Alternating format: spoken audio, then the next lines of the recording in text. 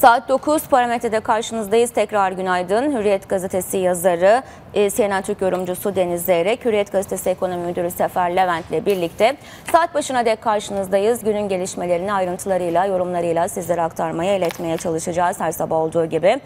Gazeteci Tayfun Talipoğlu İzmir'de hayatını kaybetti. Televizyon izleyicisinin zihnine BAM teli programıyla e, kazınmıştı. Talipoğlu 55 yaşındaydı. İzmir'in Konak ilçesindeki evinde fenalaştı. Yakınları durumu 112 sağlık ekiplerine bildirdi. E, bunun üzerine ambulansla İzmir Katip Çelebi Üniversitesi Atatürk Eğitim ve Araştırma Hastanesi'ne kaldırıldı. Ancak tüm müdahalelere rağmen Tayfun Talipoğlu kurtarılamadı ve vefat ettiği haberi dün gece itibariyle bizlere ulaştı. Otopsi için İzmir Adli Tıp Morgu'na kaldırıldı. Talipoğlu'nun cansız bedeni 1962 Kars doğumluydu. Gazeteciliğe Milliyet'te muhabir olarak başlamıştı. Ardından televizyon haberciliğine geçiş yaptı. 1995'te başladığı yol hikayelerini anlattığı BAM Teli programı ile de hafızalara iyice kazındı. Ee, Tayfun Talipoğlu aynı zamanda UNICEF İyi Niyet Elçisiydi. Gazeteciydi, 55 yaşındaydı, çok gençti, Ee, evinde fenalaştı ve dün gece ölüm haberi geldi. Kendisine Allah'tan rahmet, yakınlarına, sevenlerine başsağlığı ve büyük sabır diliyoruz. Ee, Bütün e, diğer gündem başlıklarını da değerlendireceğiz ama önce söylemek istedikleriniz varsa alayım. Günaydın Deniz, günaydın Sefer. Başsağlığı diliyorum ben de. Ee, Günaydın. Bildiğimiz bir gazeteci abimizdi. Allah Çok rahmet genç yaşta.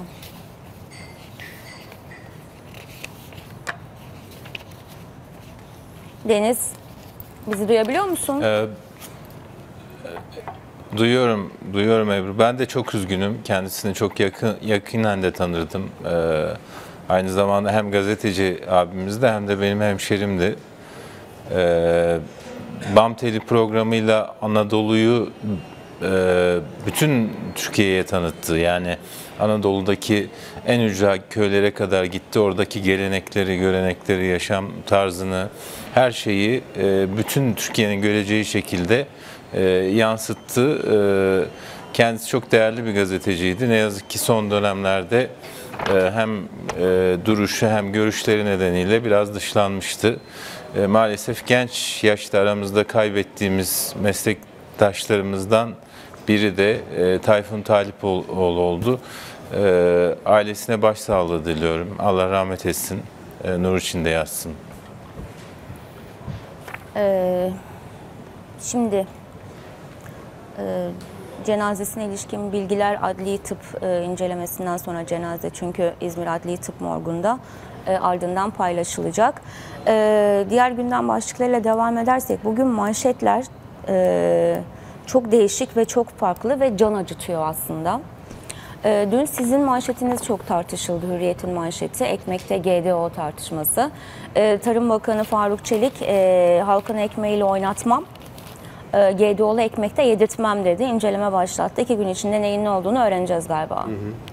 Ya birkaç e, yanlış noktayı düzeltmek lazım en başında. Bu testi biz yaptırdık. Adana'da bir mühendis yaptırmadı Ebru. E, Adana'da bir mühendis bize bir istihbaratta bulundu. Çünkü e, bu mühendis üzerine çok fazla spekülasyon yapılmaya başlandı. Biz bir istihbarat üzerine e, bu testi yaptırdık ve gerçekten GD olduğu anlaşıldı. E, şimdi birçok e, fırından sen de söyledin örnekler toplandı. Bu e, GDO'lu soyanın e, ve bunu içeren ürünü katkı maddesini e, fırınlar kullanıp kullanılmadığı bu testler sonucunda ortaya çıkacak. Yani Türkiye'deki bütün ekmekler GDO'lu gibi bir iddiamız olmadı ama bu e, ciddiye al- alınması gereken bir durum. Bakacağız, göreceğiz. Yani bu testlerin sonucunda Tarım Bakanlığı yine açıklama yapacaktır. En serin kanlı açıklamayı da bence bu testleri yapıp e, bir an önce harekete geçen Tarım Bakanlığı yaptı. Ne Türkiye'deki tüm ekmekler temiz deme şansımız var şu anda GDO bakımından ne de e, hepsinde GDO var deme e, lüksümüz var şu anda. Öyle bir şey yok. Bunlar testler sonucu ortaya çıkacak. Bu katkı maddeleri ambalajlı ürünlerde kullanılıyor deniyor ama e, Adana'daki firma fırınların %80'ine sattığını iddia ediyordu. E, yani televizyon ekranlarında... Onlar da memnun diyor. Yani fırınlar bunu kullanmıyor diye e, bir takım demeçler de duyduk dün. E, bunu hangi bilgiye istinaden söylüyorlar? Nasıl herkese kefil oluyorlar onları da bilmiyorum.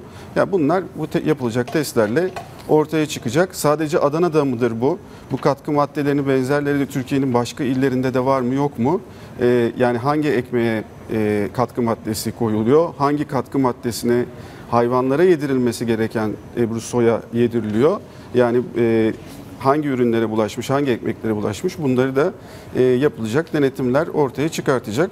Halkın ekmeğiyle oynanıp oynanmadığı da ortaya çıkacak. Bu konuda Tarım Bakanı'nın da güvencesi var. Ekmeğe katkı maddesi konur mu? Şöyle o konuda da aslında yasal olarak e, açıkta satılan yani ambalajsız olarak satılan ekmeklere katkı maddesi e, gıda yasasına göre koyulmaması lazım. Yani ambalajlı ürünlere koyulabilir diye bir durum var. Dün bunu çeşitli uzmanlar hem CNN Türk ekranlarında hem diğer ekranlarda dile getirdiler.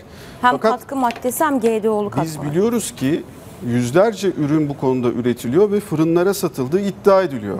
E, madem e, fırınlara satılıyor demek ki açıkta satılan ekmeklere de bunun e, karıştırılması durumundan e, şüphesinden bahsediyoruz. Bizim zaten haberimizde bunu konu alıyor. E, bu iddiayı da bizzat bu satışı yapan, bu ürünü satan firmanın sahibi söylüyor. Çok basit incelemelerle bunlar ortaya çıkar.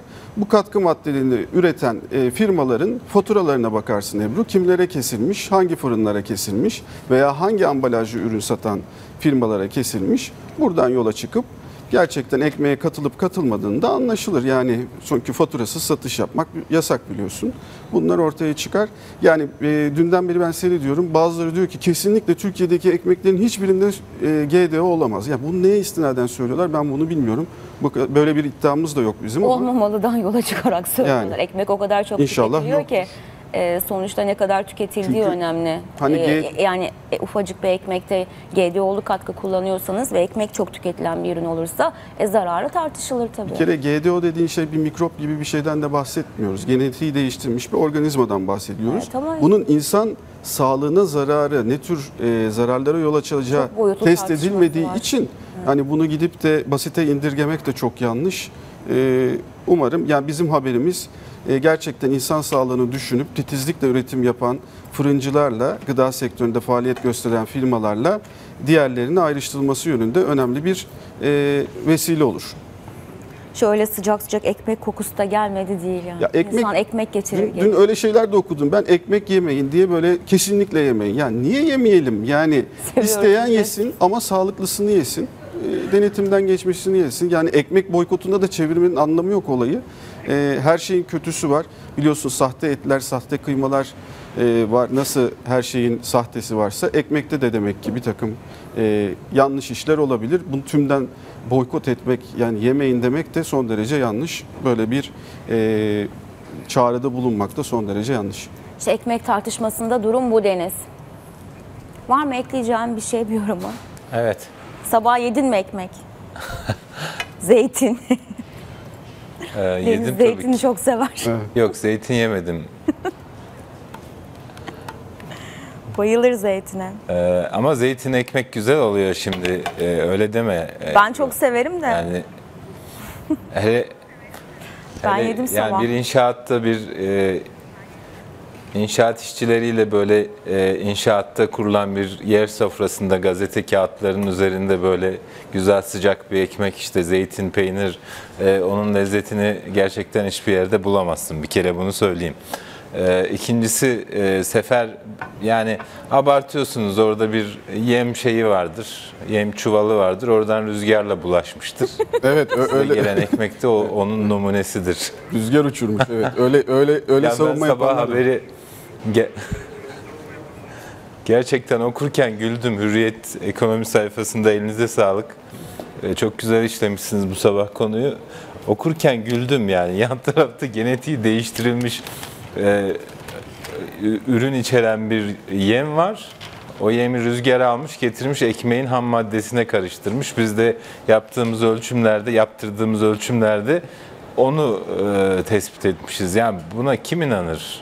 Gerçekten e, komik şeyler ama şöyle bir tehlikeyle karşı karşıyayız. Maalesef dünyada özellikle mısır ve soya gibi ürünlerde artık neredeyse genetiği değiştirilmemiş e, ürün kalmadı gibi E, böyle bir sıkıntı var dünyada. Ben bu işin eğitimini aldım yani üniversitede bu alanda okudum. Bize o zaman okuttukları ilk derste e, bu meseleyle ilgili bir tar- etik tartışmasını anlatmışlardı ve e, en ciddi sorunlardan birinin de genetiğine ürünlerin genetiğine müdahale edilmesinin yaratacağı en ciddi sorunlardan biri de gelecekte genetiği orijinal olanı bulamama tehlikesi. Yani işte domatesi düşünün ya da baş, mısırı düşünün, soyayı düşünün. Genetiğine müdahale edilen ürünler o kadar çok artar ki siz onun orijinal tohumunu artık bulamazsınız. Bu riskle maalesef e, bu risk risk olmaktan çıktı ve bir gerçek olarak karşımızda duruyor. E, para hırsı, kazanç hırsı, işte eskiden 1 kilo ürün alınırken şimdi 5 kilo ürün alma hırsı bizi bu tabloyla karşı karşıya getirdi. Ne yazık ki Sefer'in söylediği gibi bu ürünlerin insan sağlığına, dünyanın geleceğine nasıl bir zarar e, verdiği konusunda henüz elimizde somut bir bulgu yok. Ama mevzuat var, Avrupa Birliği mevzuatı var. Türkiye o mevzuata uymaya çalışıyor. E, O mevzuata rağmen kim bilir e, Türkiye'de şu anda ne kadar GDO'lu ürün içeren e, gıda maddesi e, raflarda satışa sunulmuş durumda. Çok da bilmiyoruz. Yani bu e, inceleme başlatıldı açıklaması her olaydan sonra yapıldığı gibi yapılıyor. Ama hani Hürriyet buna haber yapmasaydı ne olacaktı? Ya da o mühendis dikkat mühendisin dikkati e, olmasa, Hürriyet'e o e, numuneyi göndermese, Hürriyet'e o testi yaptırmasa ne olacaktı? Yani bunlar önemli şeyler. E, bu denetimlerinin denetimlerin artırılması ve haber olmadan da düzenli bir şekilde yapılması gerekiyor. Tarım Bakanlığı kendilerinin bunu yaptığını açıkladı. Hatta sayı verdi. Yani şu ana kadar yapılan testlerde şu kadar üründe GDO'lu ürün e, içerik bulduk diye. E, bu, bu önemli ama bunlar daha da artmalı. Ee, böyle hani tesadüfen aldığınız, teste gönderdiğiniz bir ek- ekmekte e, çıkma ihtimali böyle milyonda e, bir olmalı ki e, öyle olmadığını gördük işte. Şimdi gazete manşetleriyle devam edersek bugün e, böyle içiniz daralacak ama e, hızlı bir manşet turu yapalım isterseniz. Hürriyet'in bugünkü manşeti de bir utanç hikayesi. E, Gülden Aydın'ın e, yazısı. 14 yaşındaki M.A.'dan bahsediyor. 2 yıl önce amcasının tacizine uğradığını söyleyerek jandarmaya sığınıyor bu çocuk. Yani 12 yaşında. E, devlet korumak yerine ailesine teslim ediyor. Bu sefer de farklı kişilerin istismarı söz konusu oluyor. Şimdi çocuk 8 aylık hamile. Böyle e, çocuklar da var e, bu bölgede. E, yani ne denir ben böyle bakarım ben de yani Ya bu konudaki yasal düzenlemeler bunun örneklerini daha önce de bu programda e, dile getirdik, manşetlere konu ettik ama bu konudaki yasal düzenlemelerin e, yani yetersiz olduğu ortaya çıkıyor. Çok kolay o çocukları e, devlet sığınma evlerinden geri alınıyor. E, geri alındığında ya tekrar da direkt korunmuyor. iade ediliyor çocuk bir şey yapılmıyor. iade ediliyor ve sonuçta bu tür hikayeleri çok fazla duymaya başladık. Bu da utanç verici bir hikaye. Ee, yani bunu önleyecek tedbirlerin, bu çocukların e, öncelikle tabii bu tür olayların yaşanmaması lazım. Arkasından da bu tür çocukların daha ciddi korunması, kimliklerinin gizlenmesi, e, eğitimlerinin sağlanması, psikolojik desteklerinin verilmesi. Yani birçok aşamadan geçecek aslında düzenleme gerekiyor. Bu konuda çok büyük eksik olduğu bu haberle bir kez daha ortaya çıkıyor. Deniz bu bölgeden bu haberleri daha önce de çok duymuştuk. Ee, mesela e, utanç testi diye Habertürk'ün de birinci sayfasında bugün var.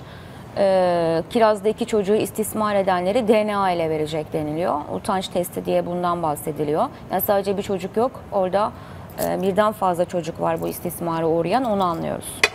Daha önce de haberlerini yaptığımız bir e, durumdu bu. Ebru bu e, orada gerçekten çok akıl almaz bir e, durum söz konusu. Bunu daha önce Hürriyet Özel Haber ekibi manşete de taşımıştı. Evet. E, böyle çocuk yaşta e, kız çocuklarının kaçırıldığını ve e, daha sonra işte parayla, başlık parasıyla vesaire e, eş yapıldığını vesaire bu, bu tür haberler e, çok oldu. İşte orada bir belediye başkanı, kadın belediye başkanı bunun mücadelesini veriyor. Avukat kadınlar var. e, bunun mücadelesini veriyor ama gerçekten bu bir yani sadece zihniyet değişimiyle de olmaz. Devletin de bu işe el atması lazım. Yani e, bakıyorsun mesela bu Hürriyet'in bugünkü manşetinde e, işte kız ifadesini değiştirdi, amca serbest kaldı diye bir cümle var. Yani gerçekten bunu anlamakta zorlanıyorum ben. 14 yaşındaki 12 yaşındaki bir çocuğun ailesinin baskısıyla ifadesini değiştirmesinden daha kaçınılmaz, daha doğal bir şey yok. Ama devlet artık bunu bir kamu davası gibi görüp e, böyle bir adım atmamalıydı. Yani git orada mesela o ilçede işte kaçırıyor 13 yaşındaki çocuğu, tecavüz ediyor. Sonra ben bu kızı eş yaptım diyor. Mahkemede kızın ailesi de evet bizim de rızamız var çünkü para almışlar karşılığında.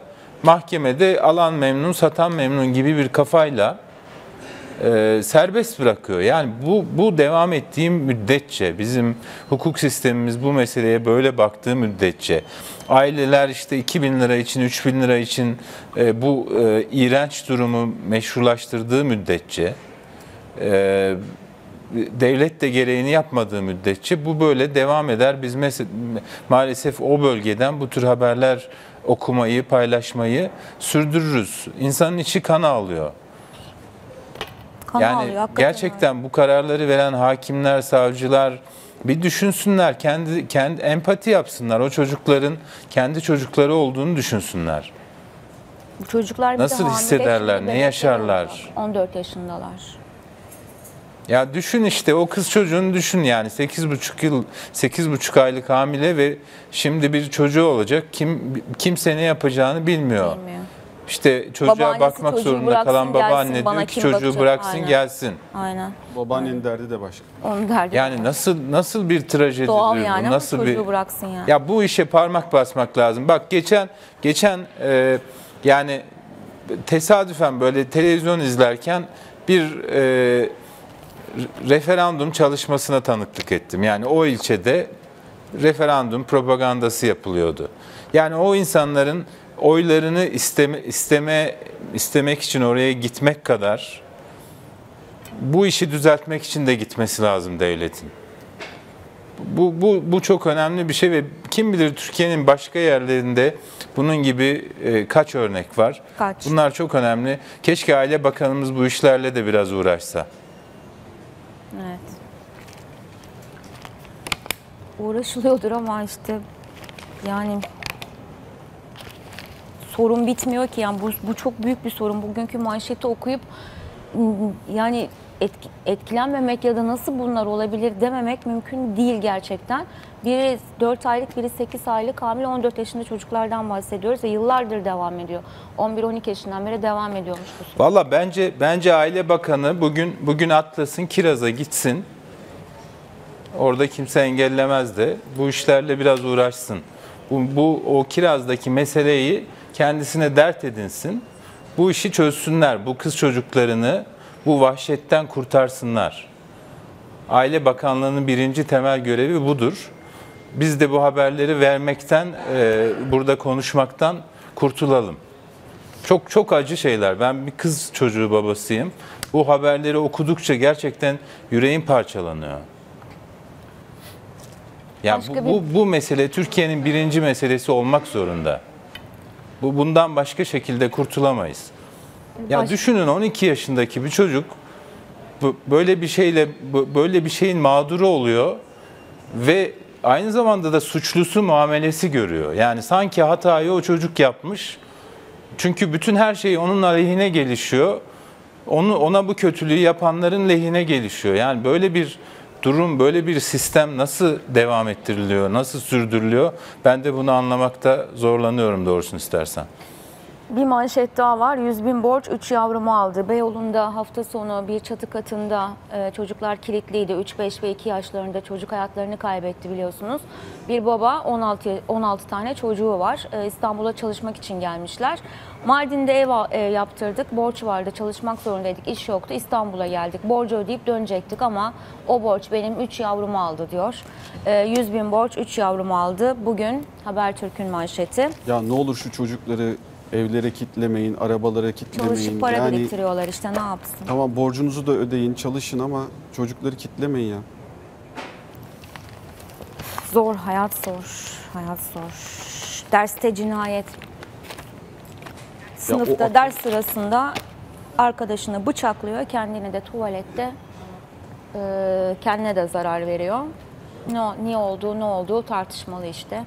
Oynadığı bir internet oyunundan mı ya da ona lakap takılmış Yani ondan şiddet mı? içeren oyun oynuyordu. Bu da çocuk işte. var.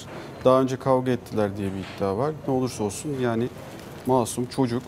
Derste cinayette bir diğer manşet.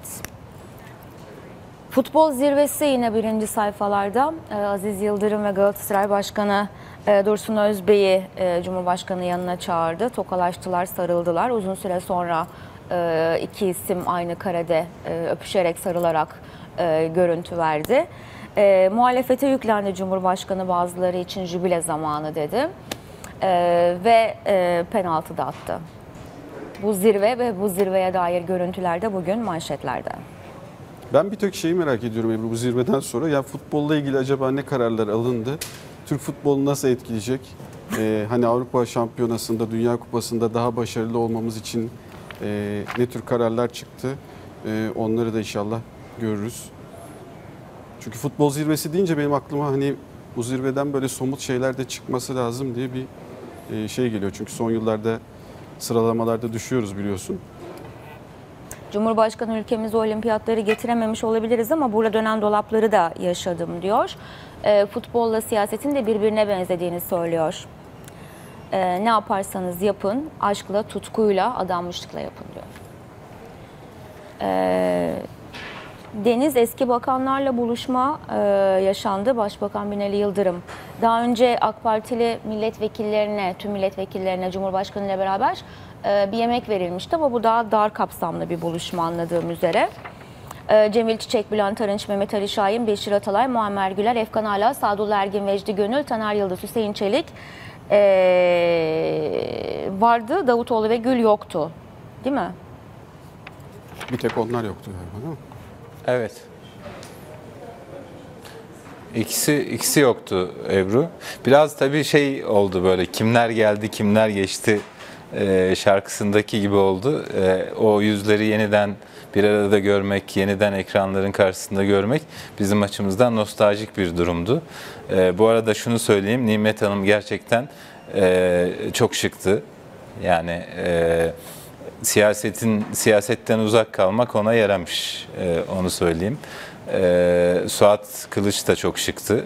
Onun dışında bir şey söyleyemiyorum çünkü içeride konuşulanları e, çok Bülent fazla Arınç bilmiyoruz. 17 Nisan'da E, konuşacağım. bildiğimiz işte Güzel bir toplantıydı dedi ama hayır 17 Nisan'dan sonra görüşürüz Görüş dedi de dedi. ben öylesine Öyle. söylediğini düşünüyorum. Ben yani öyle bir bir e, yani bir bildiği bir şeyle söylemedi gibi geldi bana. Ee, ama duyduğum kadarıyla e, içeride özellikle e, AK Parti tabanındaki e, kararsızların ya da hayır oyu vereceklerin neden öyle düşündüklerine dair görüşlerini dile getirmişler eski bakanlar. Yani kampanyanın ve paketin eksiklikleri konusundaki düşüncelerini paylaşmışlar. Ee, dediğim gibi bizim için e, nostaljik bir görüntü ortaya çıktı. e, referandum süreci devam ederken e, sanırım AK Parti biraz daha e, detaylı bu eleştirilere yanıt verip e, anayasa değişikliğindeki o altı maddeyi e, anlatacak işte broşürlerle e, yaptıkları sunumlarla açıklamalarla vatandaşa iyi anlatılamadığı mı düşünülüyor acaba? İşte milletvekili seçilebilme yaşının 18'e indirilmesi, vekil sayısının 600'e çıkması, dokunulmazlık, tek adam rejim değişikliği, meclis feshediliyor e, iddialarına tek tek yanıt verilecekmiş öyle anlıyoruz. Tek adam tartışması yaşanıyor. Hem CHP Genel Başkanı Kemal Kılıçdaroğlu hem de Deniz Baykal e, bu e, açıklamalara yanıt veriyor. Önce tarihi okusunlar diye. Ee, referandum sürecinde de bunları yaşıyoruz. Biraz daha farklı bir e, yol haritası çizilecek galiba. Böyle bir ara verip dün Abdülkadir Selvi de yazmış baskette maç sırasında mola verip hani e, plan belirlemek, strateji değiştirmek gibi. Evet yani maçı kazanmak için dün Cumhurbaşkanı da o futbol zirvesinde siyaseti biraz futbol e, terimleriyle konuştu. E, artık herkes böyle e, spor e, müsabakalarına benzeterek açıklamaya çalışıyor. E, biliyorsun basket maçlarında, voleybol maçlarında e, molalar çok kritiktir. Yani e, aleyhte giden bir e, maçı moladan sonra e, çevirili, çevirebiliyorlar. Bir de bazen o, o pozitif çıkışını rakip takımın kırmak için mola verilir. Yani o, o düzeni bozmak için mola verilir. E, herhalde bunu kastediyor Abdülkadir. E, benim gördüğüm kadarıyla ama e, şöyle bir hesap yapılıyor. Yani AK Parti'nin şöyle bir hedefi var. E, kendi tabanındaki fireyi %5'lere düşürmeyi amaçlıyor. Yani işte HDP'nin oylarının %60'ını, MHP'nin oylarının %50'sini e, evet olarak dönüştürmek artı kendi tabanındaki kararsız ve hayırların e, oranını %5'te tutmak gibi bir hedefi var AK Parti'nin. Bunun için e, çaba gösteriyor. E, bunu yapabilmek için neler yapılması gerektiğini e, tartışıyorlar ama tabii ortada da şöyle bir gerçek var. Ben bunu burada e, aylar önce bana sorduğunda ref- hani meclisten geçer mi, referandum olur mu e, vesaire diye sorulduğunda e, bunu söylemiştim. Gerçekten çok böyle adil olmayan bir e, tablo söz konusu. Yani e, bakıyorsun bütün gün e, işte Cumhurbaşkanı, Başbakan, bakanlar hepsi böyle canlı yayınlarda, e, bir, yerlerde vesaire. Kılıçdaroğlu dışında pek bir e, hayır kampanyası, yürütenleri göremiyoruz. Kılıçdaroğlu da en son TRT'ye sistem etti. Yani e, Muharrem İnce de bir miting konuşmasında çok açık bir şekilde dedi ki ya bu TRT'ye biz e, her ay elektrik faturası ödediğimizde e, para ödüyoruz vatandaşlar olarak. TRT'nin sadece bir tarafın sesi olması doğru değil diye bir eleştirisini dile getirdi. Aynısını Kılıçdaroğlu da söyledi. Kılıçdaroğlu da dedi ki biz çok başvurduk ama bir türlü çağırmıyorlar. E, bu tür şeyler de var, bu tür durumlar da var. Yani e, kampanya biraz böyle ilerliyor. Ee, bunun avantajı demek ki yetmiyor iktidar partisine. Onun için yeni arayışlara giriliyor. Bunun için de Abdülkadir'in yazdığı gibi molalar veriliyor. Ya da işte Nuray Babacan Hürriyet'te yazmıştı. Senin biraz önce söylediğin o altı maddelik e, işte yanlışlar ve doğrular çalışmasını. E, demek ki hala böyle e, anlatılmakta zorlanan bir takım başlıklar var. Evet bunlar yeniden planlanacak ve baş, daha detaylı olarak bu maddeler e, anlatılacak diye yorumlar, ifadeler var. Dün de Selvi'nin yazdığı gibi. E, 15 Temmuz darbe girişimi. Şimdi bugün yine öne çıkan haberler var. E, önce Özel Kuvvetler Komutanı Korgeneral e, Zekai Aksakallı'nın darbe davasında e, ifadeleri var. E, görevde olduğu için yazılı ifadesini verdi. TSK'da kriz durumlarında ilk haber alınır alınmaz personel kışlayı terk etmesine emri verilir. Her zaman uygulanan bu basit kural 15 Temmuz'da ilk haber alındığında uygulanmadı. Uygulansaydı darbe baştan açığa, bu girişim baştan açığa çıkardı ifadesini kullanıyor. E, o geceyi anlatıyor. E, şehit Halis Demir'i nasıl gördüğünü, nasıl o üzerine e, örtülen örtüyü kaldırıp alnından öptüğünü anlatıyor. 15 e, Temmuz darbe girişimi bu anlar yazılı ifadede e, yer buluyor. Yine Hürriyet'te bugün e, Toygar Atilla'nın bir haberi var Toygun Atilla'nın. Kuleli Askeri Lisesi'nde 1986 yılında bir Gülen soruşturması yapıldığından bahsediliyor. Orada bazı isimler de itirafta bulunmuşlar e, Gülen'le ilişkileri, bu cemaatle ilişkileri konusunda. Ama e, onlar o isimlerden örneğin biri 15 Temmuz darbe girişimi gecesi kurmay albay, albay olarak Akıncı'daki girişimi yönetmiş. Bir diğeri de BDDK'da üst kademelere geldikten sonra FETÖ'den şu anda hapiste. Yani 86 yıllarında devam eden soruşturmalarda, gelen itiraflarda ama hep böyle e, üst kademelere doğru yükselişlerde e, görüyoruz bu isimleri. O değişmiyor. 80'lerden bu yana devam eden bir süreçten ve yapılanmadan bahsediyoruz anladığımız kadarıyla. Ve en son işte 15 Temmuz'a geliyoruz. Orada da e, bugün öne çıkan Kor General Aksakallı'nın ifadesi. Deniz var mı o geceye evet. dair, o Ebru, gelişmelere dair yorum, bu, bu ifadelere dair? 15 Temmuz'dan sonra e, ortaya çıkan itiraflardan e, zaten bu konuşuluyordu da bir sürü kitaba da yansımıştı. E, yani e, işte polis okullarında, e, harp okullarında, bütün e, normal okullarda e, işte FETÖ'nün bir e, sızma artık sızma değil de hani oralara oralarda kendini gösterme, oralara yerleşme gibi bir e, çabası olmuş ve bu 12 Eylül e, askeri darbesinden sonra başlamış. Yani tam bizim böyle ortaokul, lise okuduğumuz dönemlerde e, bu e, okullara sızma e, da başlamış. Yani baktığın zaman 86, 87, 88 o tarihlerde askeri liselere girenler daha sonra e, kendini saklayabilenler işte bi- bi- binbaşı, e, yarbay, albay diye ilerlemiş. Saklayamayanlar işte bu e, To- Toygar'ın yaz, e, Toygun'un yazdığı e, haberdeki gibi uzaklaştırılmış ama gittiği yerde de e, devam etmiş yani bürokraside de devam etmiş mesela. Yani bu bu sızıntının e, o tarihlerden itibaren başladığını görüyoruz. Yani 80 darbesinden sonra çok ciddi bir yapılanma söz konusu ve hem askeri okullar hem polis okulları e, hedef olarak seçilmiş. Birinci boyutu bu. İkinci boyutu e, Özel Kuvvetler Komutanlığı gerçekten kritik bir öneme sahipti.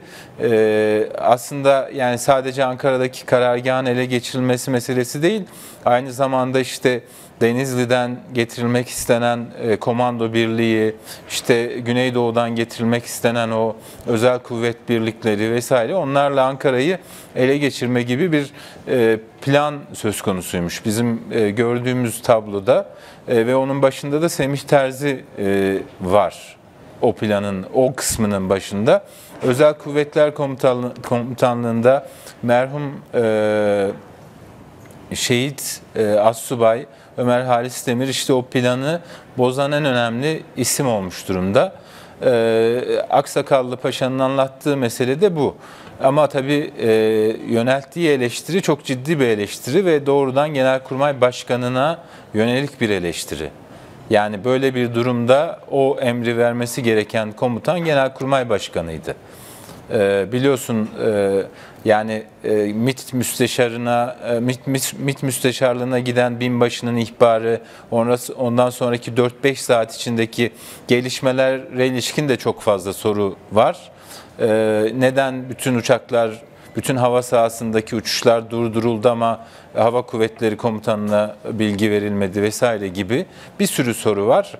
Ee, Zekai Aksakallı da bu sorulara dün yeni birini e, ekledi. Herhalde Genelkurmay Başkanı Hulusi Akar neden personele karargahtan çıkmama emri verilmediğini e, hem Zekai Paşa'ya hem e, kamuoyuna açıklar.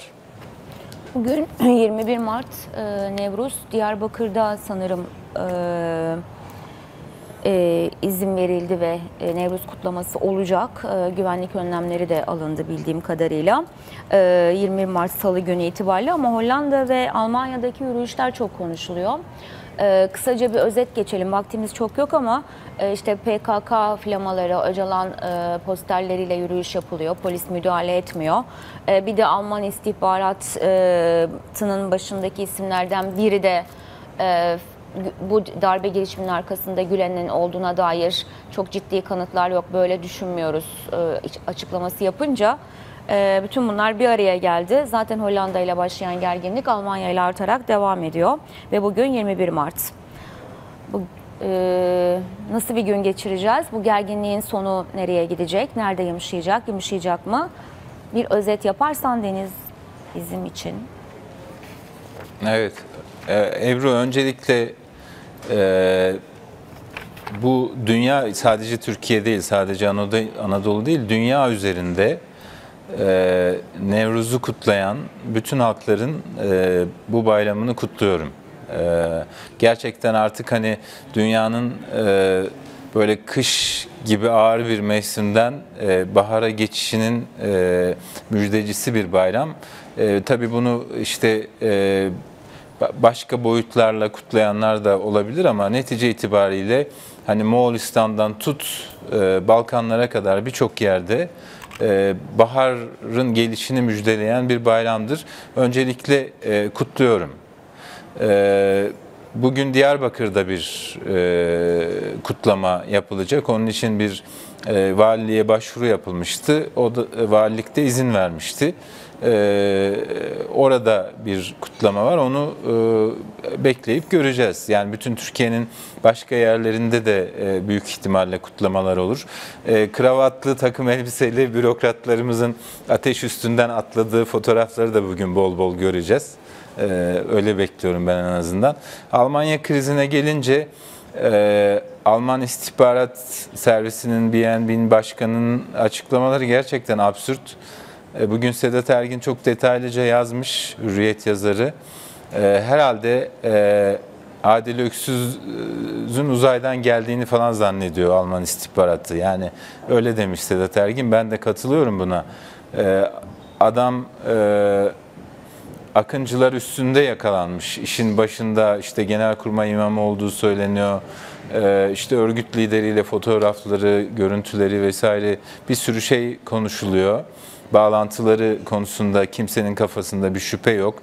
E, Birçok e, darbeci asker bağlantılarını itiraf etmiş durumda. Birçok e, kamu kamu e, personeli, üst düzey bürokrat e, bağlantılarını e, itiraf etmiş durumda. E, buna rağmen hala bir bağlantı göremiyorsa bence Merkel o istihbarat servisinin kapısına kilit vurmalı. Yani e, izah edilmesi zor bir açıklama. E, kutlamalara gelince e, ge- gerçekten hani bunu herkes söylüyor, klişe gibi duruyor ama gerçekten bu kabul edilemez bir şey. E, ikili ilişkilerde de devletlerin de kabul etmesi zor böyle şeyleri. Ama ben de şu, işin şu boyutuna da dikkat çekmek istiyorum. Yani e, bunu belki konuşma fırsatımız olmaz. Yani Suriye'de de görüyoruz. E, İşte YPG-PYD Amerika ile ittifak yapıyor, işte Rusya ile ittifak yapıyor, işte başka ülkelerle ittifak yapıyor. E, Bizim bakanlar Almanya'da toplantı e, yapamıyor ama PKK miting yapıyor. Yani ben bunu söylemek biraz zor geliyor insan ama işte terör örgütü e, koskoca Türkiye Cumhuriyeti Devleti'nden daha mı başarılı bu ilişkiler kurma konusunda, PR konusunda ya da işte ne bileyim lobicilik konusunda bunu da düşünmek lazım. Yani bizim bizim bunlara e, fırsat vermememiz vermememiz gerek Türk Türkiye Cumhuriyeti Devleti olarak. Hani bunu bunu başarabilmek lazım. O ülkeler e, Türkiye'yi kaybetmemek için bu tür şeylere göz yummamalılar. E, ama niye oluyor bu? Nasıl oluyor? Bunu çok iyi düşünmek lazım. Çok iyi araştırmak lazım. YPG konusuna değindin. PKK'nın Suriye kolu YPG, Rusya'nın Afrin'de askeri üs kuracağını ve bu konuda anlaşma yapıldığını duyurdu. Üst değil o şube diyor. Hani e, ateşkesi gözetmek için bölgeye bir birim konuşlandıracak, konuşlandıracağız diyor Rusya. Tabii e, Suriye konusunda e, Membiç ve sonrasında Rakka operasyonu masada. Amerika ile oradaki görüşmeden sonucu ne olacak? Amerika ne diyecek? E, süreç nasıl işliyor? Önemli bir gündem maddesi de Suriye olmaya devam ediyor. E, Güneş santral enerjisi ve bugün haberlerinizden nasıl dönüşeceğiz kısmını çok beğendim Sefer. Bize bir özet yaparsan e, nasıl evimizi dönüştüreceğiz? Mesela e, biz kendi kendimize anlaşamıyor, anlaşamıyor insanlar ne yapacağız? Ya- Çok bloklu bir apartman mesela Evet. ne yapacağız? Yani çok şöyle, daireli. e, birçok şey var biliyorsun. Birçok ilde e, bu konuda e, hazırlık var ve hani biz de dedik ki dönüşüm bu kadar revaçtayken müteahhit kapınızı çalabilir. Çaldığı andan itibaren ne yapacaksınız? E, işte kira yardımı var, ön hazırlık e, süreci var işin içinde. Riskli yapıların tespit edilmesi gerekiyor ki tespit edildiği andan itibaren e, yeni yasal düzenlemelere göre eğer çoğunluk dönüşüm yönünde karar verdiyse e, dönüşüm gerçekleşiyor. Bu konuda e, işte çoğunluk kararı almak gerekiyor. E, hani toplantı ve anlaşma yapılıyor. En sonunda da tahliye ve yıkım süreci başlıyor. Bunda da verilen dediğim gibi kira yardımları var e, dönüşümde.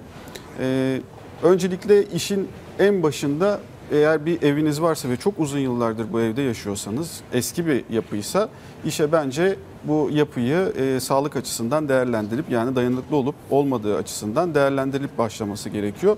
Bunu özellikle e, 15-20 yıllık binaların e, derhal yapması gerekiyor veya yapım sürecinin nasıl olduğu bilinmeyen binalar varsa ne tür malzemenin kullanıldığı. Yeni bir binada olabilir bu. Bunun yapılmasıyla başlıyor. O yüzden e, herkese tavsiyemiz e, binasının önce dayanıklı olup olmadığını özellikle depreme e, tespit ettirsinler. Ondan sonra da bugün bir hürriyet alıp detayları okusunlar diyeyim ben. Çünkü uzun sürer onu anlatmak. Bayağı bir Ve- sayfa evet, anlatılmış. Bir sayfa var. Nasıl dönüşeceğiz Ee, diye. Bir rehber olması açısından hazırladık. Baksınlar diyeyim. Peki e, baksınlar e, okuyabilirsiniz kentsel dönüşüm konusunda hangi aşamalardan geçebiliyoruz. Kısa bir ara verelim ardından toparlayacağız.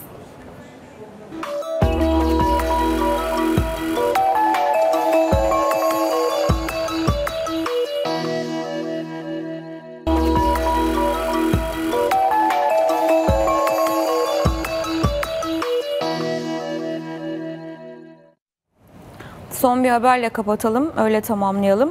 Amerika'ya uçuşlarda yeni yasaklarımız var. Evet.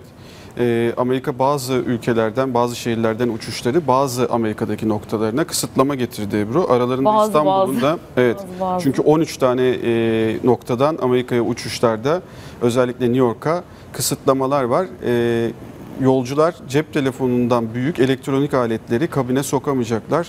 Mutlaka Tablet, bagaja vermek yok. zorundalar. Böyle bir kısıtlama getirilmiş. Laptop, tablet Evet. alamayacağız. Yani Dubai, Kuveyt, e, Casablanca, Amman, Riyad gibi e, ülke e, şehirlerin yarısı, yanı sıra İstanbul'da var. Yasak kas, kapsamında dediğim gibi 13 şehirden uçuşları kapsıyor. Detayları herhalde gün içerisinde netleşir.